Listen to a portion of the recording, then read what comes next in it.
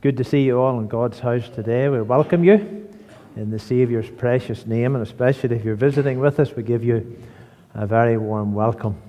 We're going to open our service uh, this morning by singing a children's hymn. It's hymn number 704 in our own hymn book. If I come to Jesus, he will make me glad. He will give me pleasure when my heart is sad. And after the singing of this hymn, we're going to have uh, the dedication of the baby sons of Mr. and Mrs. McIntosh. So do remember that. But let's stand to sing this lovely hymn uh, and let us really praise the Lord as we open our service in worship today.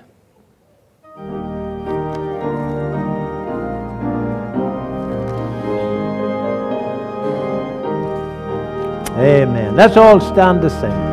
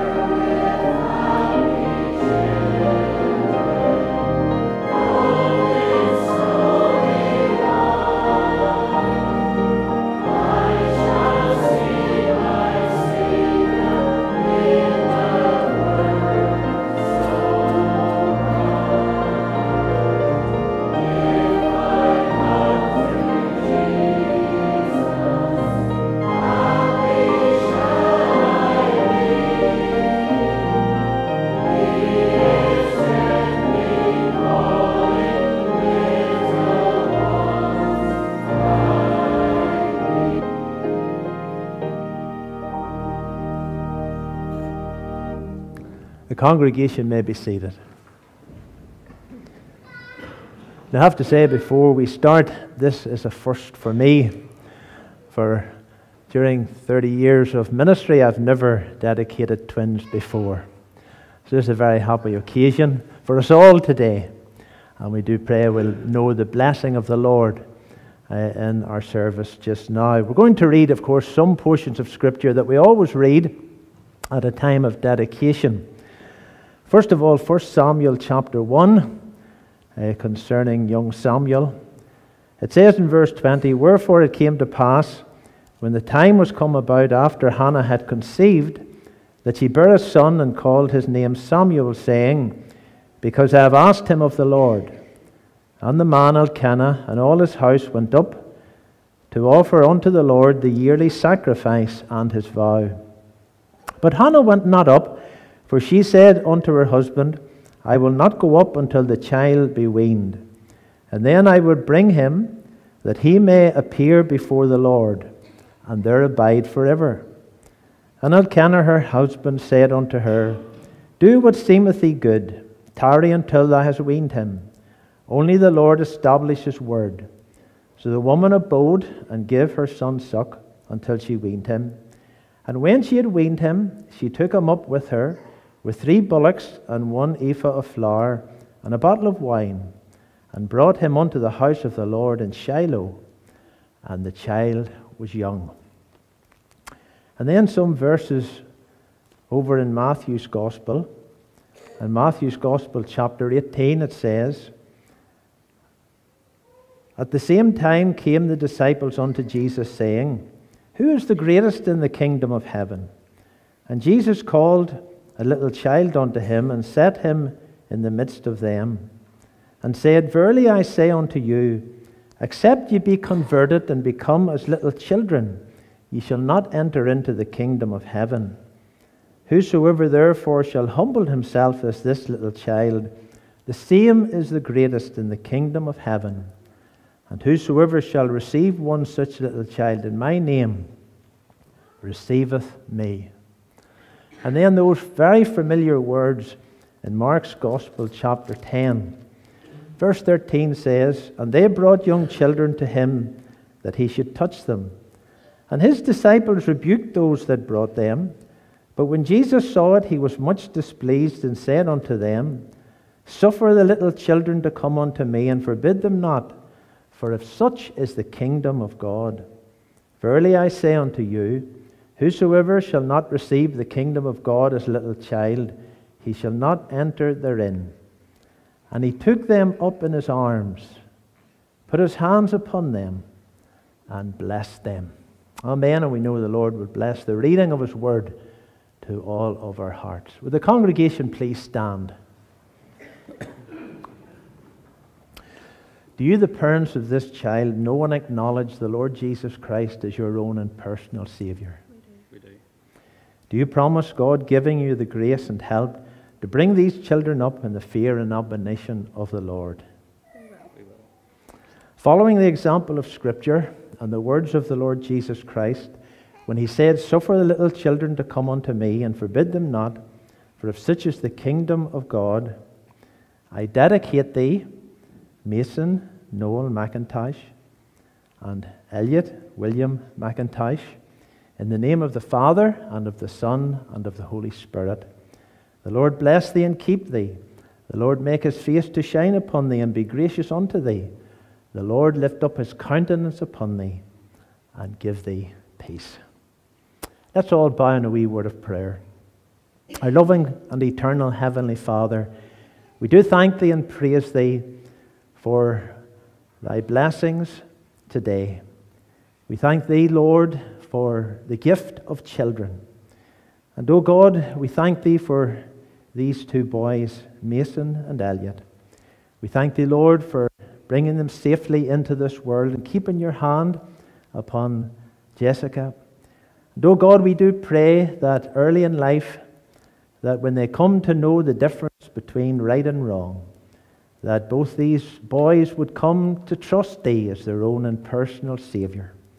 We pray that you bless Brian and Jessica and the family circle today. We thank thee for them all. We ask thee, Lord, that you would bless their homes, indeed, bless all of our homes. We thank thee, Lord, for our children and for our grandchildren. We thank thee for the little ones.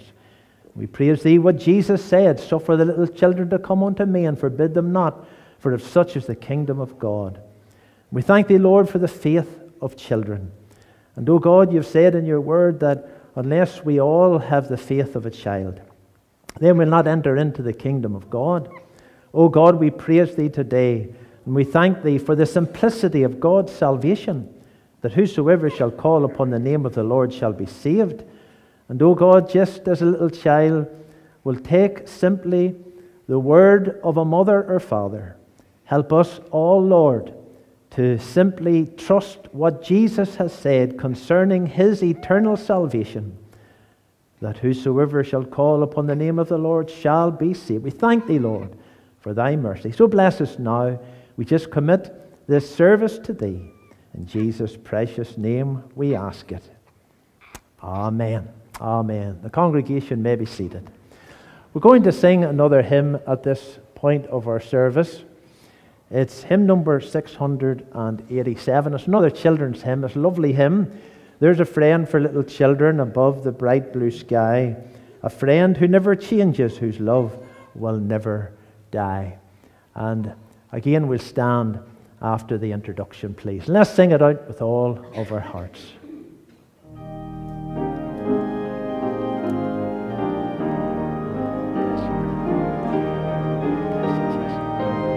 Let's all stand to sing.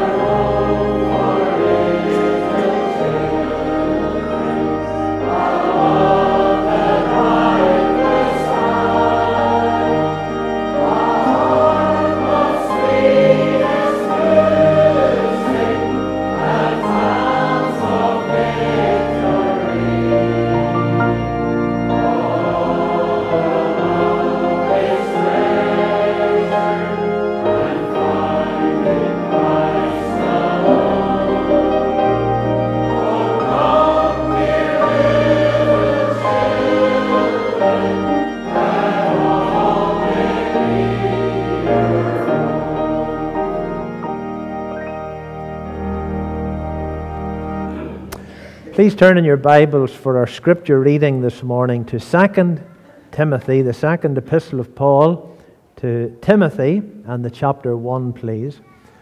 2 Timothy chapter 1. We're going to read some verses uh, at the beginning of this chapter. We'll read from verse 1. If you haven't the Bible with you, just listen very carefully uh, to the reading of God's precious word today.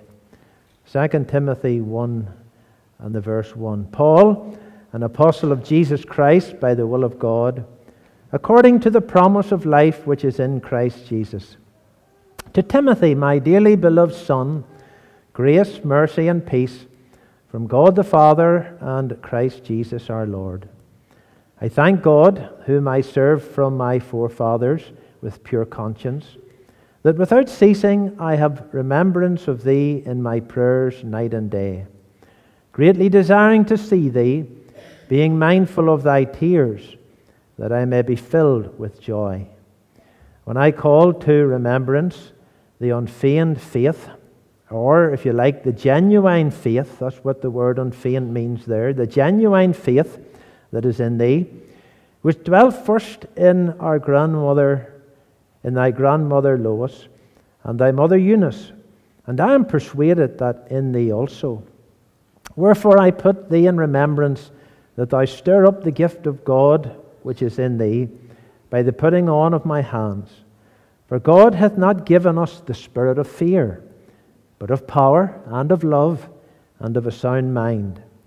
Be not thou therefore ashamed of the testimony of our Lord, or of me his prisoner, but be thou partaker of the afflictions of the gospel, according to the power of God, who hath saved us and called us with an holy calling, not according to our works, but according to his own purpose and grace, which was given us in Christ Jesus before the world began, but is now made manifest by the appearing of our Saviour Jesus Christ, who hath abolished death and hath brought life and immortality to light through the gospel, whereunto I am appointed a preacher and an apostle and a teacher of the Gentiles. For the which cause I also suffer these things. Nevertheless, I am not ashamed. For I know whom I have believed, and am persuaded that he is able to keep that which I have committed unto him against that day.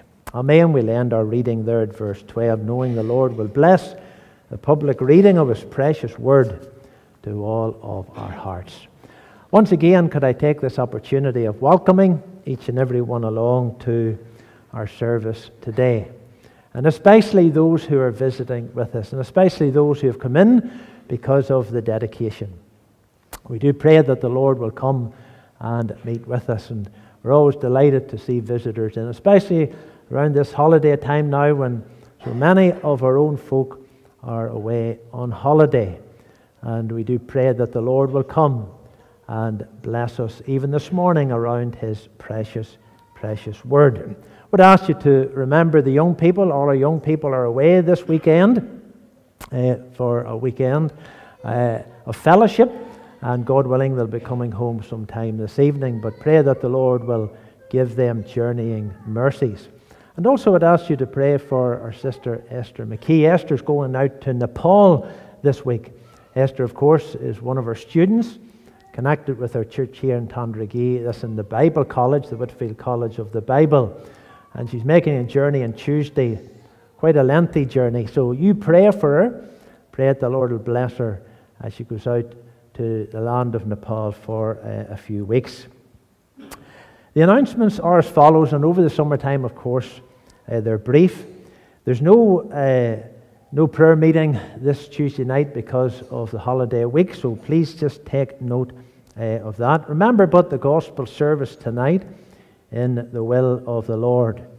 And I'll be here this evening to preach in uh, the gospel service and pray that the Lord will come and meet with us. Our sis- sister Joanna McCammon will be along this evening to sing for us. And if you can come along at 6.30, you'll be made very, very welcome. That's preceded by the half hour of prayer. And if you can come that little bit earlier, then you come and pray with us. Remember, the service is next Lord's Day, 11.30 in this house and 6.30 in the evening. And next Lord's Day, our brother, Mr. Johnny Jordan, will be coming along again uh, to preach. Johnny, of course, is walk, working alongside us now, and he's finished in the Bible College.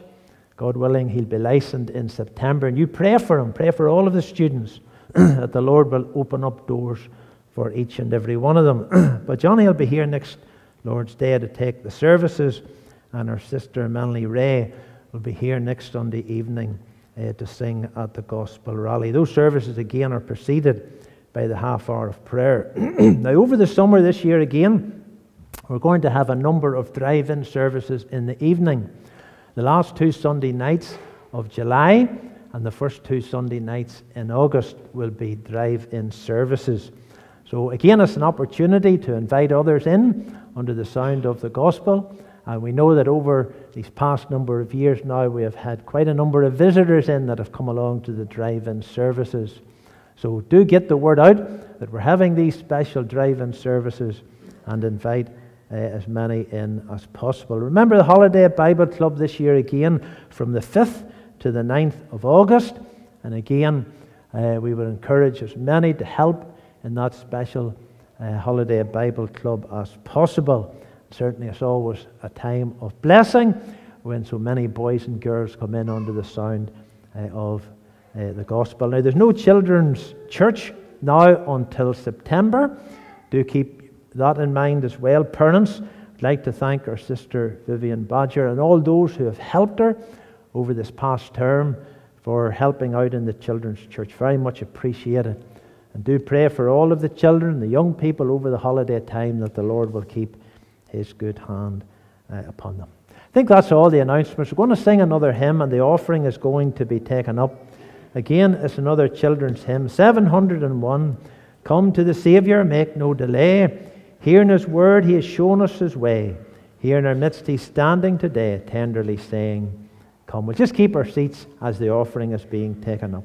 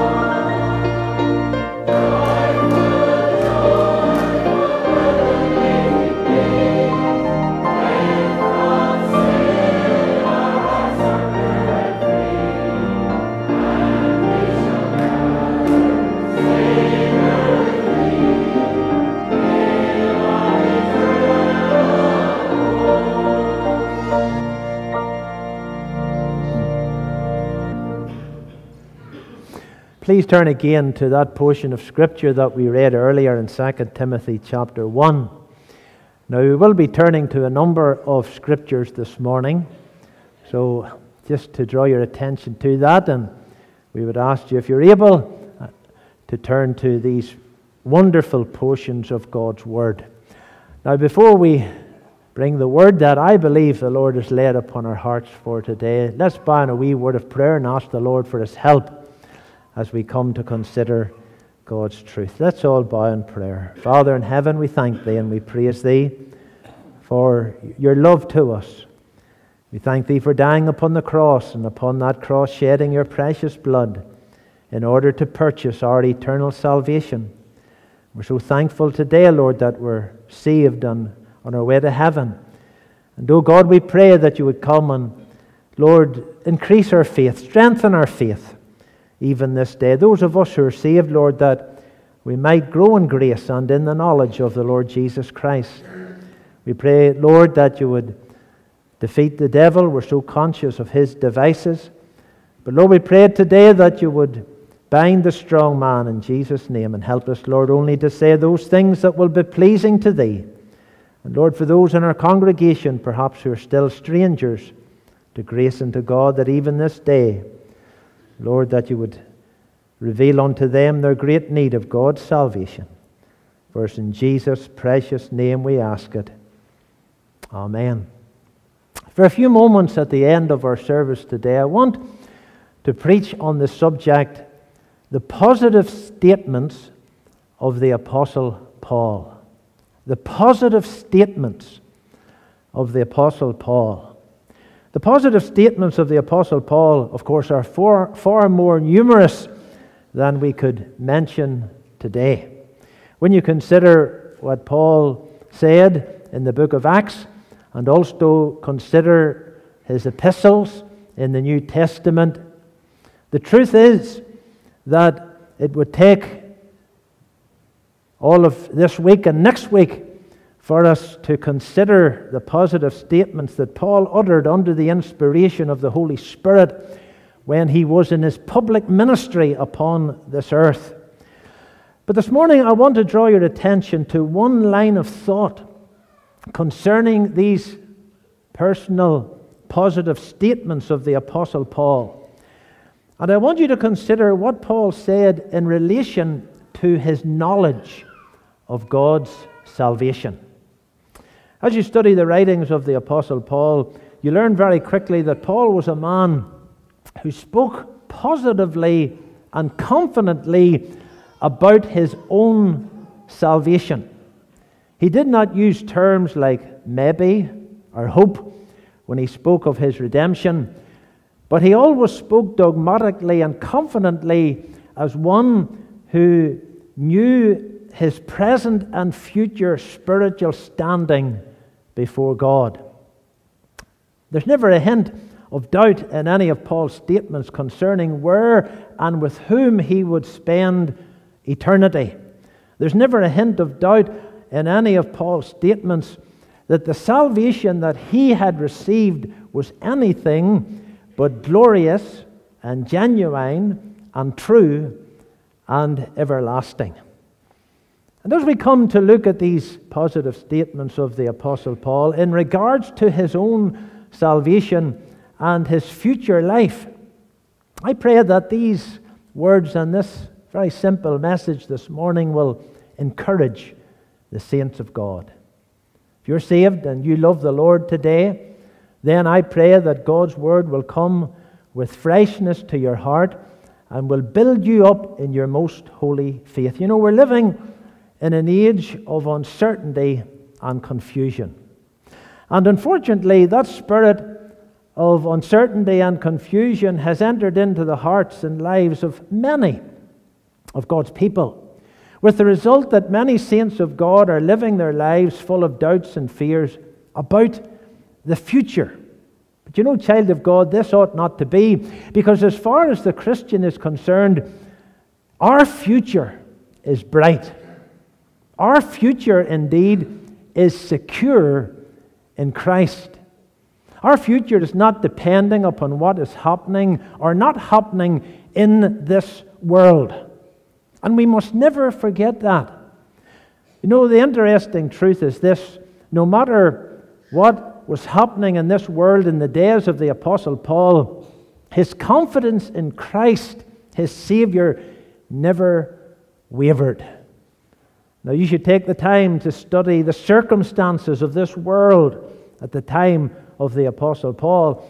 And of course, you will know if you have done that, that the Apostle Paul suffered great persecution, and indeed the Church of Jesus Christ as a whole at that time suffered great persecution. And yet, in the midst of the severest trials, when we come to consider these glorious statements that the Apostle Paul made in relation to his salvation, we see that here's a man who had great confidence, not in himself, not in other Christians, not in his circumstances around him, but he had great confidence in God and in his Savior, the Lord Jesus Christ.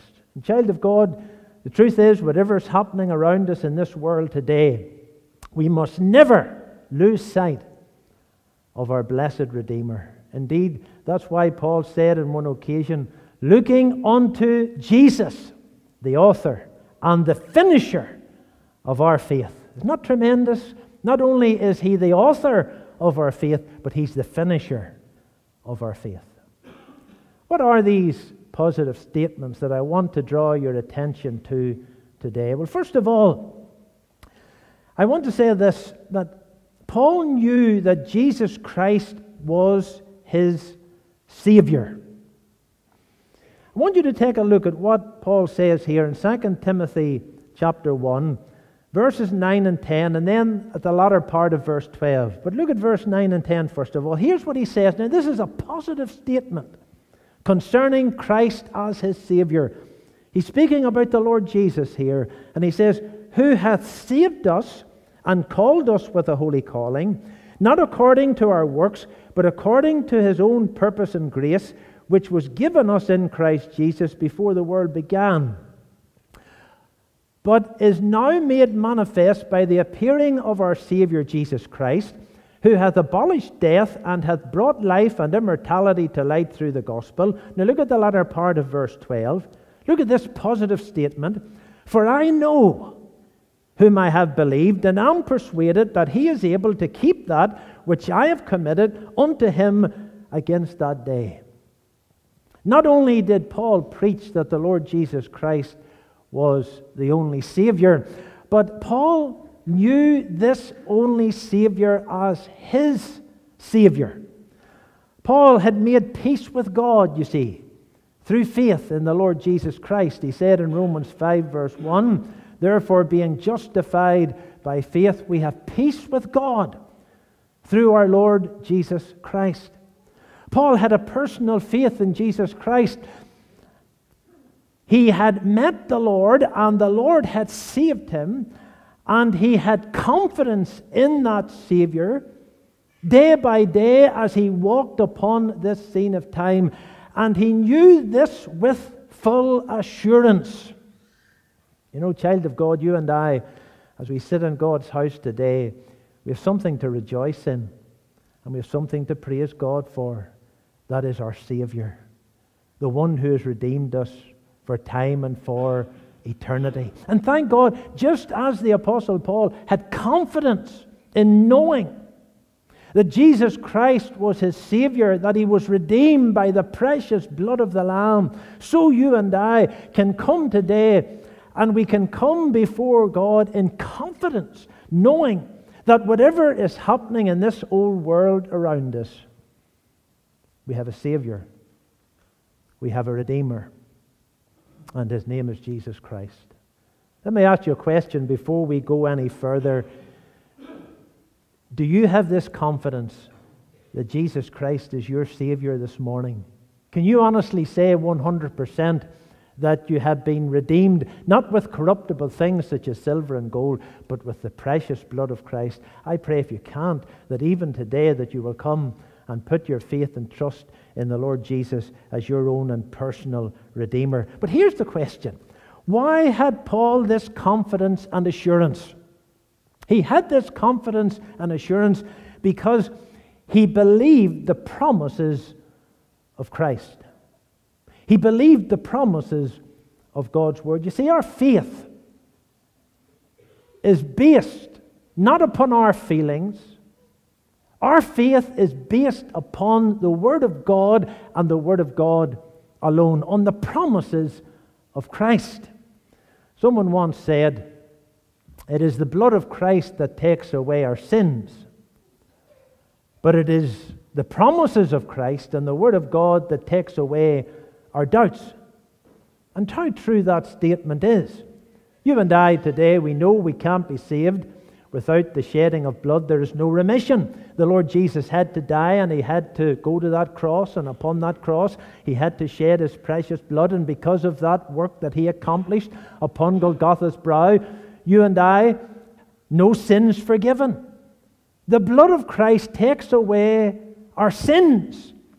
But it is the Word of God and the promises of Christ that takes away our doubts. Isn't that right? You know, Satan would seek to attack the child of God today. Satan seeks to attack the child of God by attacking our faith in God's Word, by seeking to make us doubt the Scriptures of truth, by seeking to take away our confidence in the promises of Christ. There's no greater blessing in this world than to have the assurance of personal faith in the Lord Jesus. I wonder is there a child of God here today, or perhaps someone listening on to the social media, and you're saved, you've trusted the Lord as your Redeemer, but in recent days, or recent weeks, or recent months, you've had doubts about your salvation. And perhaps the devil is giving you a hard time. Well, join the club because he gives us all a hard time. Someone once said, indeed it was C.H. Spurgeon, I think, he said that he doubted the Christian who never doubted.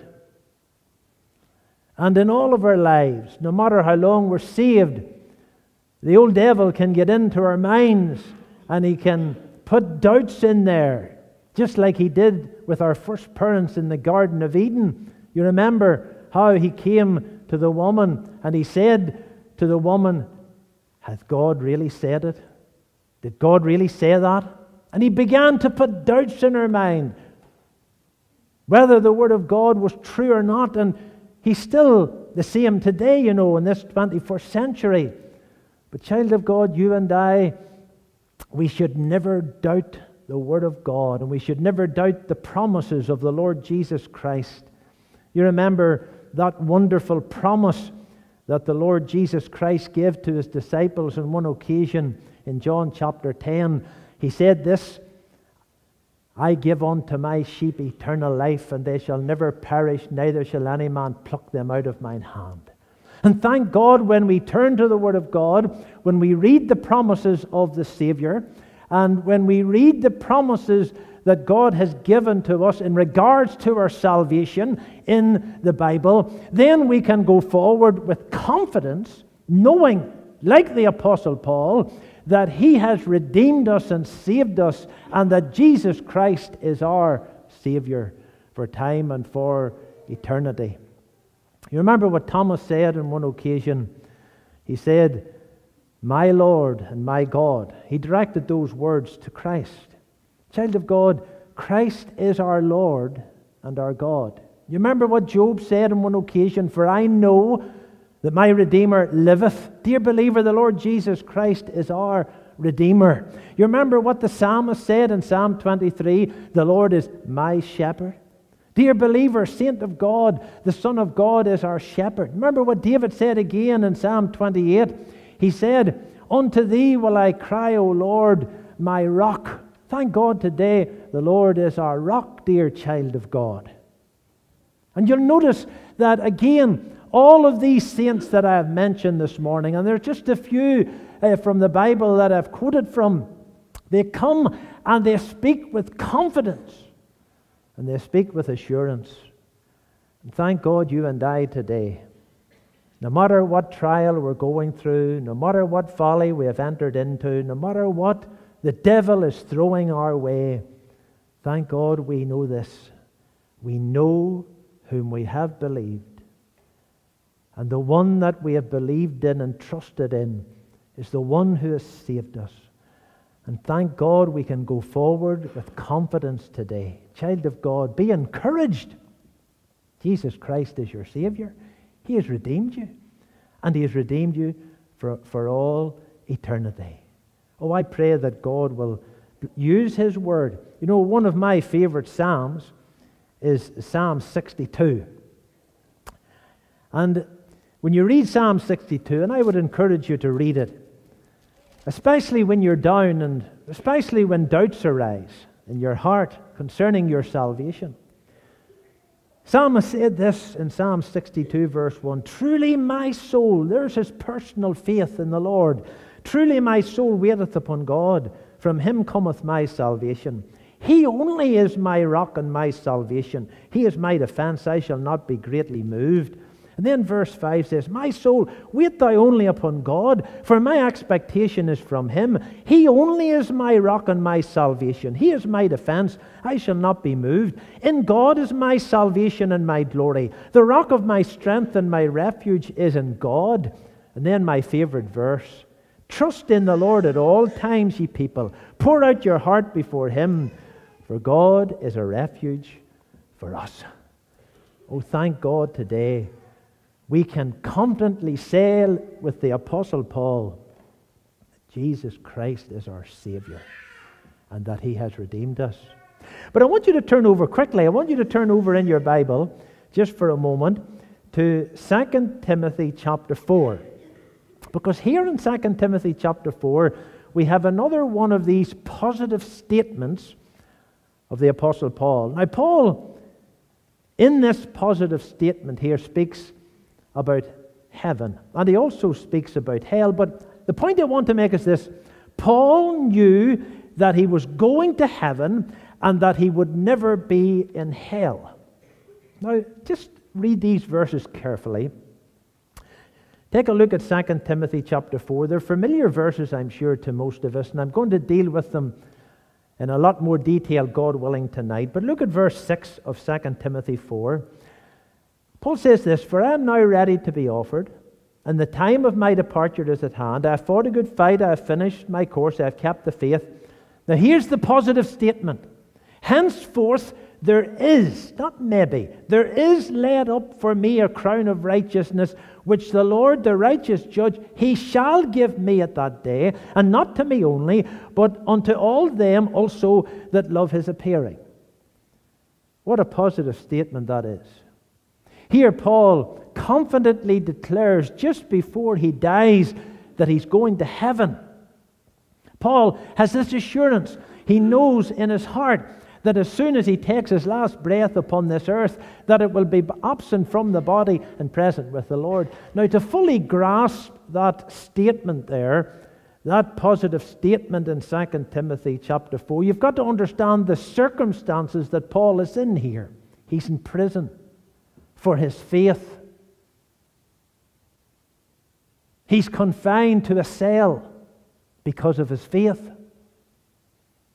Very soon he's going to be taken from that prison cell and he's going to be executed for his faith. And yet, in the midst of those circumstances, the Apostle Paul could lift up his heart and he could speak these words Henceforth there is laid up for me a crown of righteousness, which the Lord, the righteous judge, shall give me on that day. Oh, child of God, what a tremendous statement when you consider the circumstances that these words were penned in. No matter what our circumstances today, and there's none of us in a prison cell, and there's none of us at this present moment going to die for our faith. We have the liberty, and thank God for the liberty, the free and the religious liberty that we have in this country. We can go where we want, we can do what we please. We have the liberty of going and serving the Lord wherever we please. Isn't it wonderful? Oh, let's realize today that what the Lord did for Paul, he has done for you and for I. Thank God today we can say with confidence that we're heaven bound. We're going home to glory soon to see the city bright, to walk the golden streets of heaven and bask in God's own light. Paul said in Philippians 1 verse 23 For I am in a strait betwixt two, having a desire to depart and to be with Christ, which is far better. So, here in this positive statement, the Apostle Paul is declaring that he's going to heaven. He knows that he's going to heaven. Just let me ask you a question today before we go on. Do you know you're going to heaven? If you were to die right now, would you be sure that you're, you'd be in heaven? My friend, this is the blessed hope of the child of God. But then, just turn back a few pages to Second Thessalonians chapter 5. 2 Thessalonians chapter 5. And you will notice here how Paul states clearly that he would never be in hell. Now, if you're going to heaven, you're not going to hell. But notice the positive statement here that Paul makes concerning this. Look what it says in verse 9 and 10. Tremendous verses of second, uh, 1 Thessalonians chapter 5 there. Look what it says in verse 9 and 10. It says, For God hath not appointed us to wrath. He's speaking to the people of God here. The wrath, he's speaking about the wrath of God there, the judgment that's going to fall upon this world someday. And he says, God hath not appointed us. God hath not appointed the Christian. God has not appointed the believer to wrath, but to obtain salvation through our Lord Jesus Christ, who died for us, that whether we wake or sleep, we should live together with him. Wherefore, comfort yourselves together and edify one another even as also ye do. Here, Paul confidently states that he will never receive the wrath of God, but rather when he dies, he will be with Christ in heaven forever. Oh, child of God, is this is our confidence. This is our assurance. What a blessed hope you and I have today. Is there someone today? You know, as I go about from day to day, from week to week, speaking to people, as I've done so now for many years. I've spoken to many of God's people, and they have had doubts and fears, perhaps uncertainty concerning the future. And the old devil has got in on them. And perhaps today there's a poor child of God here this morning or listening on, and you're at rock bottom, and perhaps you're really feeling the heat of the battle and even beginning, maybe even to doubt your salvation. Am I really saved? I remember talking to a girl many years ago, a genuine Christian girl, godly girl. But she had doubts of her salvation. She couldn't get the assurance of salvation. And I had to turn her to the Word of God, friend, because we have nothing else, only the Word of God. The Word of God gives us the assurance. The Word of God increases our faith. The more we read the Bible, the more we learn the verses that I'm quoting and many others. That's how you get faith. The entrance of God's word giveth light. Faith cometh by hearing, and hearing by the word of God. And that's why the Apostle Paul was a man who, with great confidence, knowing that Jesus Christ was his Savior, knowing that he was going to heaven, knowing that he would never be lost, because he believed the promises of God's truth. It's God's word that takes away our doubts. Oh, I pray today that the Lord will come. My friend, have you that this assurance that you'll never be lost? You'll notice again, let me emphasize again what the Apostle Paul was trusting in. He was trusting in the person and the work of the Lord Jesus Christ. Look at verse 10 of the text who died for us, that whether we wake or sleep, we should live together with him. He knew that the blood of Christ had taken away his sins, but he recognized that it was the Word of God that takes away his doubts. Oh, thank God today we have a wonderful, glorious gospel to preach. When the Lord Jesus died upon that middle tree on Golgotha's brow, he cried this cry, It is finished. Or just one word actually in the original finished. Thank God, child of God, our redemption is complete. We are complete in Christ. As far as our eternal salvation is concerned, that's why you and I will never be lost. Truly saved, genuine, genuinely saved, we can never be lost because of that wonderful work that the Lord Jesus accomplished on the middle tree on Golgotha's brow. He finished the work. For you and for me, He became our substitute. He died in our room instead. And because of the work that He accomplished and finished and completed upon Calvary's middle tree, thank God I'm secure in Christ and saved for all eternity. That's why Paul had this confidence. That's why he could make these positive statements. Paul knew that he was a man who could never be lost. Oh, can you say this this morning? I threw the challenge out to each and every one of you. Can you say this, my friend? Can you say that Jesus Christ is your Savior? Do you know that? Paul says, I know whom I have believed. Do you know that you're going to heaven, never be in hell? Paul said, he, he knew that once he would die, there was laid up for him a crown of righteousness. He knew that God had not appointed him to wrath, but to eternal salvation. Statements, glorious statements. Now, there's one more I have to, I want to draw your attention to. Just take a look again in 1 Thessalonians chapter 4 for a moment there. And I'll be very brief. We're nearly finished. Thirdly, Paul knew that Jesus Christ would come again the second time. Now, this had to do with his future as well. This had to do with his, his eternal salvation as well, because if Jesus Christ was not going to come again, then Paul would not know anything about salvation. If Jesus Christ was still in the grave, if he had not had risen again and ascended up into heaven, if he was not coming again, there would be no redemption for Paul or anyone else.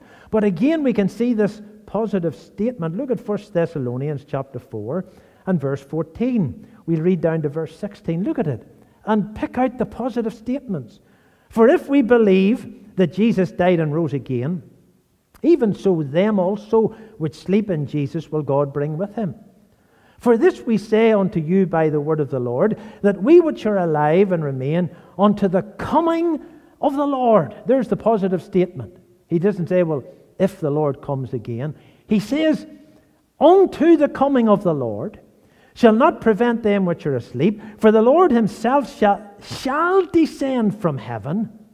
Notice the positivity of the statement here. Shall descend from heaven with a shout, with the voice of the archangel, and with the trump of God, and the dead in Christ shall rise first. Then look at 2 Thessalonians 1, verse 7. He continues this subject as he speaks to the Thessalonian believers. And to you who are troubled, rest with us. When? Underline it. Notice again, it's a positive statement concerning the second coming of Jesus Christ. He doesn't say, if the Lord Jesus. He says, when the Lord Jesus shall be revealed from heaven with mighty angels. Now, I don't know about you, but those words and those statements greatly encourage me in my Christian faith and in my Christian walk with God. Doesn't matter what's happening out there. The whole world could be crumbling down round us. But Jesus Christ is coming again. Hallelujah. My friend, can you say that confidently that Jesus Christ, the Son of God, is coming again? Here is another positive statement from Paul. And in this positive statement, Paul confidently declares that the Savior will soon come. And one of the reasons why the Savior is coming again is in order to bring his redeemed children home to glory.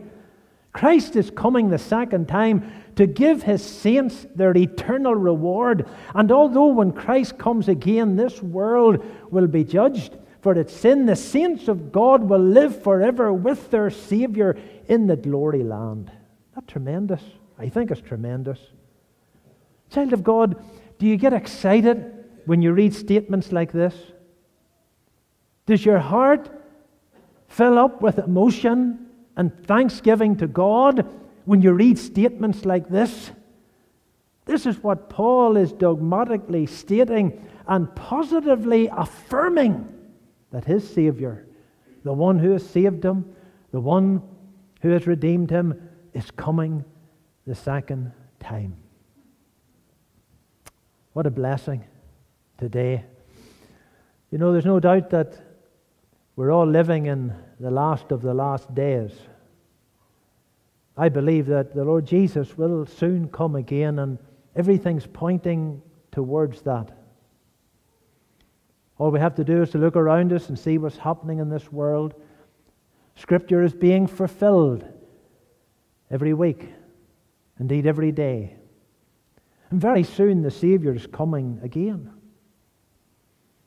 Is he coming for you? The Lord Jesus said before he left this scene of time, Be ye also ready. Be ye also ready, for in such an hour as ye think not, the Son of Man cometh. Can you say with confidence that when Christ comes the second time, that you will be gathered with the saints in glory to live with Christ for all eternity? Oh, my friend, if you can't. My prayer is that even this morning you will come and put your faith in the Lord Jesus. But, child of God, those of us who have this confidence, let us day by day live in the light of His second coming. And let us each day be watching for His second coming. Isn't that what the apostle exhorted us to do? Look up, for your redemption draweth nigh. And if it drew nigh in Paul's day, surely it must be drawing even nearer today. Turn over just, this is the last reference to Revelation chapter 5. And I just want to read this chapter, or these verses to you. What a tremendous portion of Scripture it is. We're just looking at some of the positive statements that Paul made. But here's a positive statement that another apostle made, the Apostle John. And again, I want you to think of the circumstances in which he wrote these words. Very important to consider the circumstances in which some of these writers, under the inspiration of the Holy Spirit, wrote the words. John was on the Isle of Patmos, banished for his faith. Banished for his faith because he loved the Lord. You know, child of God, there are many Christians in this world today in communist countries, and they're in prison today because of their faith. You and I have it. We have it. We have it so easy, really, when you think about there's Christians in communist countries today, and they're being persecuted for their faith. They're dying for their faith. Thank God for the liberty that we have. But the, here John writes these tremendous words. Again, banished for his faith in the Isle of Patmos. Look at verse 8 of Revelation 5. And when he had taken the book, the four beasts and the four and twenty elders fell down before the Lamb, having every one of them harps and golden vials full of orders of odors, which are the prayers of saints. Now listen to this. And they sang a new song, saying, Thou art worthy to take the book and to open the seals thereof, for thou wast slain and hast redeemed us to God by thy blood out of every kindred and tongue and people and nation, and has made us unto our God kings and priests, and we shall reign on the earth. And I beheld, and I heard the voice of many angels round about the throne, and the beasts and the elders, and the number of them was 10,000 times 10,000 and thousands of thousands added up, saying with a loud voice, Worthy is the Lamb that was slain to receive power and riches and wisdom and strength and honor and glory and blessing. Child of God, there's no knowing what the Lord has prepared for them that love him. Eye hath not seen nor ear heard, neither has it entered into the heart of man the things that God hath prepared for them that love him. Heaven's going to be a wonderful place. And I'm going to heaven. Are you going to heaven? Child of God, don't let the devil rob you of the assurance of your salvation. But believe the promises of the book and go on serving the Lord till He comes again. And go on with confidence Not in, not in ourselves. The confidence is not in ourselves. The confidence is in the one who loved us, died for us, rose again for us, and someday will come again for us. That's where our confidence lies. That's where Paul's confidence lay, and that's why he could make these positive statements. Isn't it wonderful? May God bless his word and bless you this day. Let us all pray. Father in heaven, we, we thank thee and we praise thee for the word of God to our hearts this morning. We thank thee, Lord, for thy truth. O oh God, we come before thee and we confess, Lord, our sins, for if we say we have no sin, the truth's not in us. But we confess, Lord, to thee our sins and we pray for that fresh cleansing in the precious blood. And Lord, forgive us when we doubt thy word. O God, we thank thee that, and we know that it's the entrance of thy word that giveth light. May thy word be continually set before us day by day. Give us a deeper desire to read it. For Lord, the more we read the Bible, the more we will have faith, and the stronger our faith will be. O God, ground us in thy truth. And Lord, we pray for those in our service, those listening on who perhaps are not saved. Lord, save them. What you've done for us, do for them. Oh God, unite our families in Christ. That's our earnest desire and prayer in these days. Lord, just take us to our homes now in safety. Keep your hand upon us. Till we meet again in thy will, give us journeying mercies. And may thy word reign in our hearts day by day.